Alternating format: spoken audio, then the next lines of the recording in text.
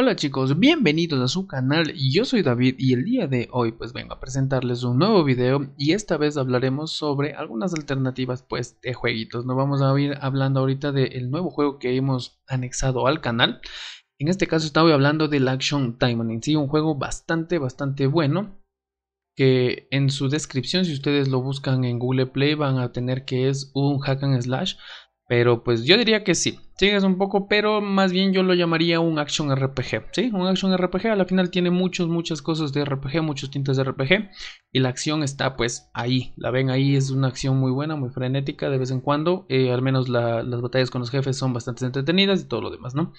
Eh, en este caso les voy a hablar concretamente en los métodos y las formas de subir a su personaje. Si ustedes ya han ido jugando, ya lo han ido pasando y todo lo demás, Creo que se habrán llevado una sorpresa al saber que hay ciertos momentos en los que ya no podemos pasar. mayormente después de haber pasado la historia normal. Porque la historia fácil obviamente la podemos pasar tranquilamente. La historia normal es un poco más desafiante y ni se diga de la historia difícil es mucho más complicado.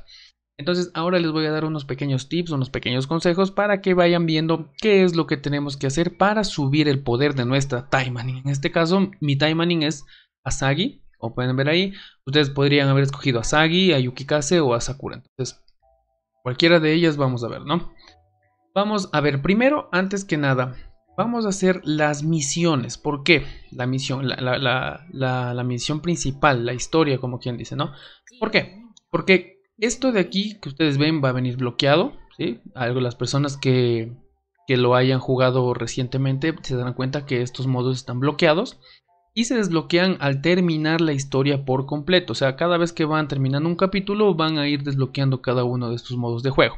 Entonces lo que tenemos que hacer es simplemente terminar el capítulo. Cuando lo hacen en fácil, pues como lo ven es bastante fácil. ¿sí? Vamos a tener nada más una estrellita ahí que sería pues una misión a hacer en cada una.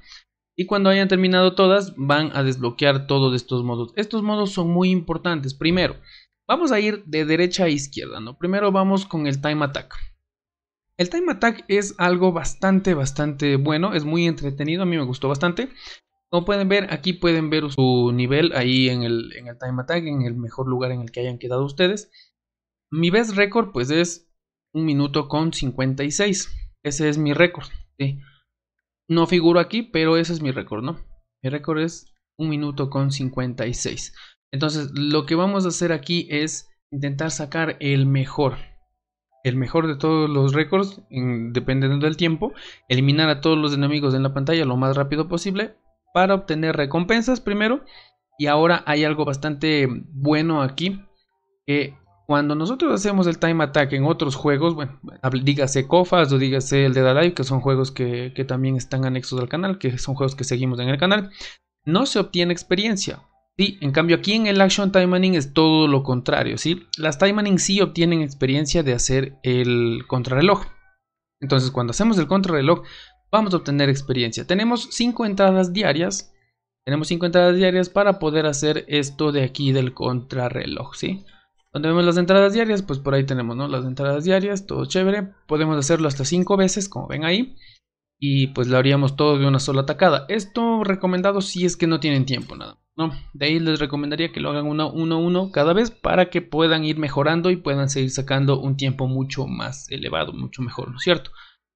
Vamos a ver con la siguiente, la siguiente mejora para nuestras timing, ¿no? Aquí tenemos la misión diaria. La misión diaria son mazmorras de farmeo prácticamente, son mazmorras de farmeo.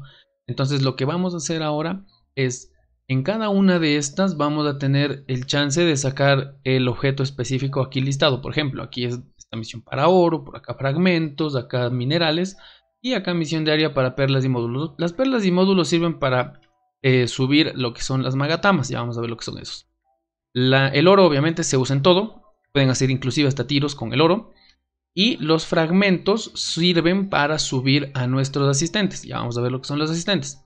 Ahora, la más importante, la de minerales. ¿Por qué? Porque la de minerales nos va a dar ciertos recursos que nos sirven para subir tanto a nuestra Taimaning, a nuestro personaje, como a sus armas. Así que esta es la más importante. Yo les recomendaría que lo hagan muchas veces. La verdad es que muchas veces para que puedan obtener la mayoría de, recursos para subir tanto armas como a su personaje.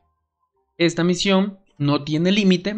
El límite lo ponen ustedes prácticamente porque el límite es el AP que ustedes tienen. Sí, ese es el límite.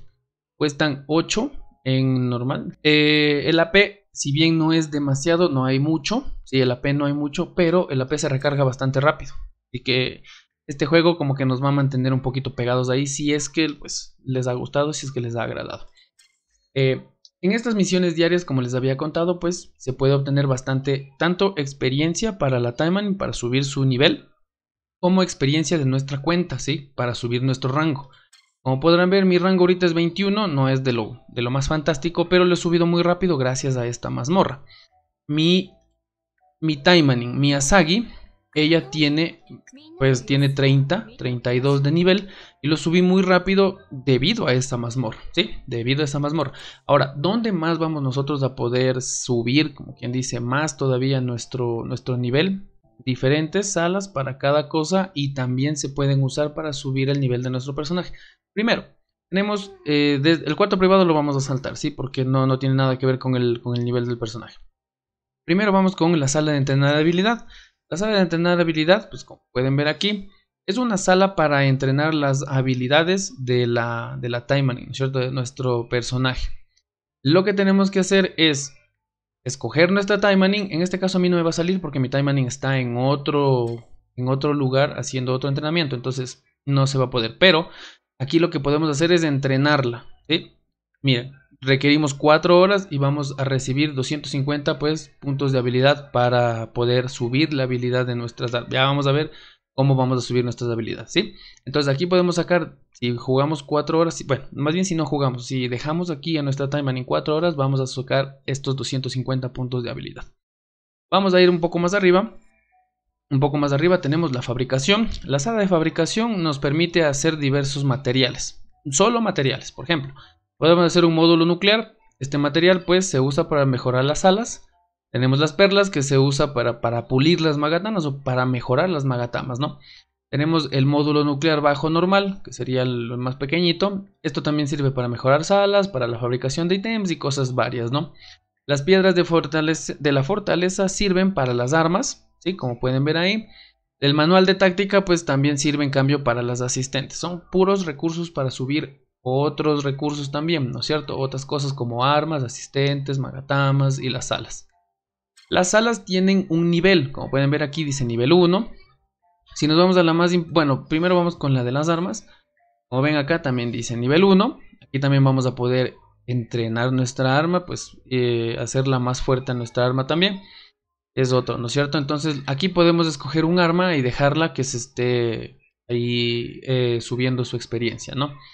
Esto pues con las armas. Obviamente aquí hay un pero. Ustedes dirán pues, no sé si alguna vez se han dado cuenta, no sé, ustedes dirán que cuando han puesto aquí eh, y quieren meter un arma, su arma principal no les aparece, ¿sí? ¿A qué se debe? Esto se debe a que el arma está equipada, ¿sí? Nosotros no podemos, no podemos mejorar, no podemos entrenar ningún arma, ni tampoco una asistente que esté equipado al personaje principal, no se puede.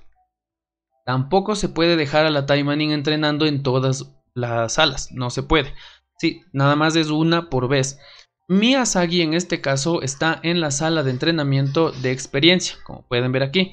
Está, entrenando, como ven, está entrenando su experiencia. Y pues dentro de 3 horas con 28 minutos va a salir y me va a dar experiencia, pues me va a dar 2000 puntos de experiencia para subir el nivel de mi Taiman en este caso, ¿no? Como ven, la sala también tiene nivel 1. Para subir el nivel de la sala vamos a necesitar dos cosas en sí. Vamos a necesitar primero un módulo, como vieron aquí, como vieron estos módulos de aquí, vamos a ir al inventario.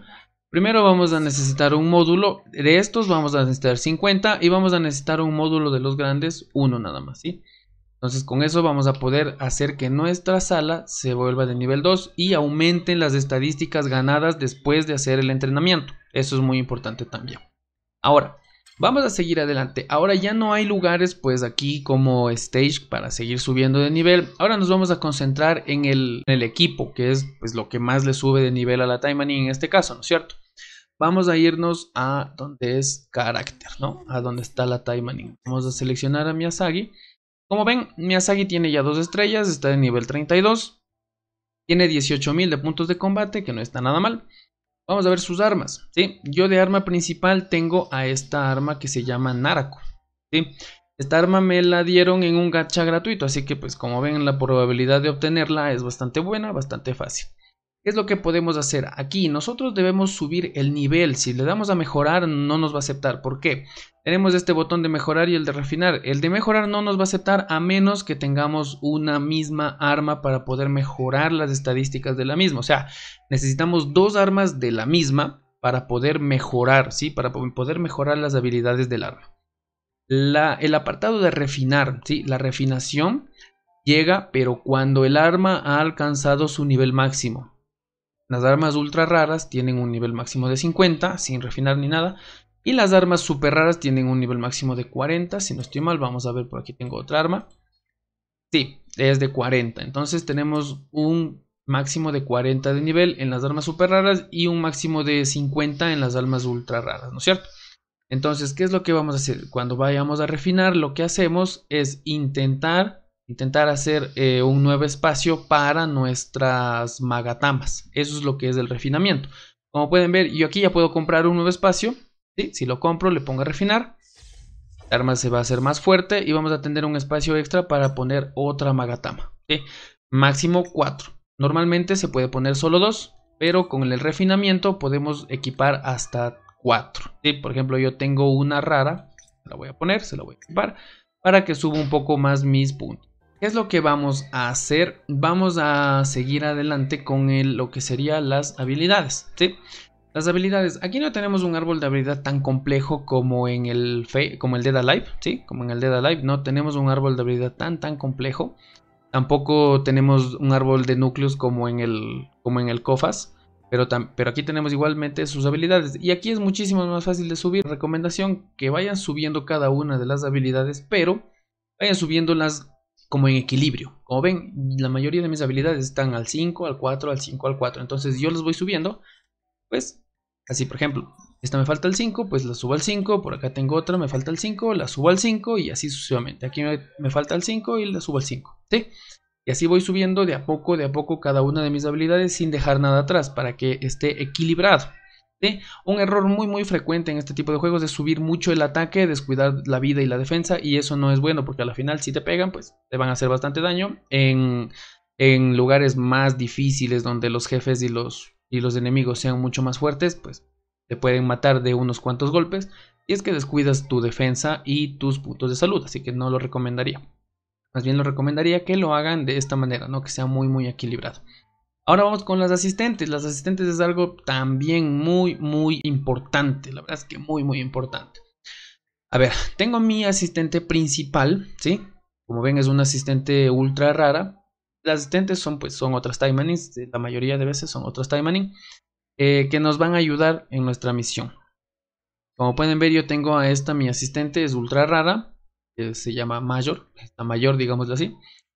Lo que hace pues es hacerme que los ataques consecutivos hagan un 1000% de daño a un enemigo, ¿no? Inflige daño adicional a los enemigos de tipo máquina. Los enemigos de tipo máquina se encuentran bastante, pero esto también podría llegar a ser una desventaja porque si es que nada más hacemos mucho daño a los enemigos de tipo máquina, cuando nos toque un stage en el que no haya enemigos de tipo máquina, no vamos a tener ninguna ninguna bonificación, ningún bufeo de parte de este asistente. Es algo malo. Pero bueno, se puede lidiar un poquito con eso, ¿no? Como pueden ver, por, lo pronto está a nivel 14 de 50. Estas también podemos mejorar habilidad, pero para eso necesitamos pues que tengamos otra de las mismas, ¿sí? Necesitamos igual un duplicado de la misma, de la misma asistente para poder fortalecer su habilidad. Ahora, si es que tenemos acá en cambio para subir su nivel normal, lo único que hacemos pues es usar estos, ¿sí? Estos de aquí, estos recursos que son pues lo que, los que les había comentado que se pueden farmear. Entonces en estos lugares es donde vamos a encontrar estos recursos para seguir subiendo a nuestra asistente. Cada vez que el asistente suba de nivel también nos va a aportar más puntos de salud y defensa. Así que es muy muy muy importante también subirlas. Por último los vestuarios. Los vestuarios no estoy seguro, pues no estoy seguro, la verdad es que no estoy del todo seguro si es que ustedes pues, se le van a cambiar el vestuario. Pero hay algunos vestuarios que favorecen más a nuestra Taimaning. Por ejemplo, Aquí el vestuario normal no tiene efectos, ¿sí? no tiene ningún efecto, pero si ustedes ven en la parte de acá, este vestuario, por ejemplo, este vestuario de, coneja, nos va a dar un 220 de defensa y pues nos va a dar un 195 de crítico. Vestuario de Maid nos va a dar más crítico y también nos va a dar un poco más de puntos de vida, entonces no está nada mal. Espero que esta pequeña guía les haya servido un poquito, pues ahí nada más es para subir la habilidad, para subir el, nivel de su timing y para subir su rango, que también sirve bastante para subir el rango. El rango es bastante importante porque según el rango se van desbloqueando cosas. Por ejemplo, las salas se van desbloqueando dependiendo del rango. ¿sí? Hay que llegar al rango 16 para, para poder eh, sacar el último de todas estas salas, ¿no? Entonces, subir el rango también es bastante importante. Espero que les haya gustado, espero que les haya agradado esta pequeña guía. Háganmelo saber en los comentarios si tienen alguna duda. Vamos a seguir aprendiendo, vamos a seguirlo jugando, vamos a seguir progresando con este bonito juego, ¿no? Espero que tengan felices farmeos. Conmigo será hasta la próxima y nos vemos. Adiós.